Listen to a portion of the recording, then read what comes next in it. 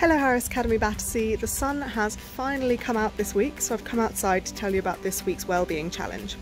You're just going to be getting one slightly longer challenge each week from now until the end of term.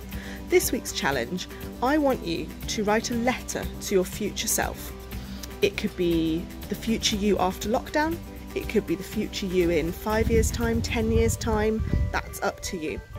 And in that letter, I want you to tell your future self what you hope the world will be like when they read that letter. What do you hope will change? Are you going to write about the Black Lives Matter movement? Are you going to write about equality in general? What are you going to write about? If you could change this world in any way, how would you change it for the better? Write that letter to yourself and share them with me. I would love to share some of your best writing amongst the school, but this could be quite a personal topic. So if you don't want me to share what you've written, just make a little note of that on the piece of paper as you take a picture of it and send it to me.